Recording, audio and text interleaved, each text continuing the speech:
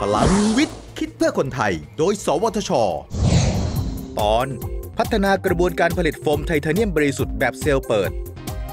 ไทเทเนียมเป็นวัสดุที่ไวต่อการทำปฏิกิริยานะครับ ในระหว่างกระบวนการผลิต เมื่ออุณหภูมิสูงกว่า 300 องศาเซลเซียส ไทเทเนียมจะถูกปนเปื้อนได้ง่ายและเปราะครับ ปัจจัยสำคัญคือการควบคุมปริมาณการปนเปื้อน โดยเฉพาะอย่างยิ่งออกซิเจนและคาร์บอน ถ้าสามารถควบคุมสารปนเปื้อนให้น้อยลงได้ ความสามารถในการรับภาระกดก็จะเพิ่มขึ้นนะครับ สวทช ร่วมกับบริษัทไทยเซโคเกิลประเทศไทยจำกัด พัฒนาผลงานวิจัย กระบวนการผลิตโฟมไทเทเนียมแบบเซลล์เปิด โดยใช้กระบวนการชุบสารแขวนลอยกับต้นแบบโฟมโพลิเมอร์ เพื่อใช้เป็นตัวกรองสำหรับใช้งานที่อุณหภูมิสูง และเป็นขั้วในระบบเคมีไฟฟ้า เนื่องจากมีความต้านทานการกัดกร่อนสูง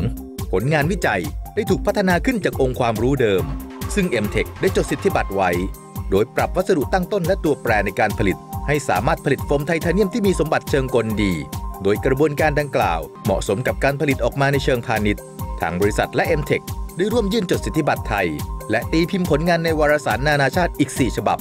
สนับสนุนโดย MTech สวทช พัฒนาคนด้วยวิทยาศาสตร์ พัฒนาชาติด้วยเทคโนโลยี สอบถามรายละเอียดเพิ่มเติมได้ที่ 02 564 8000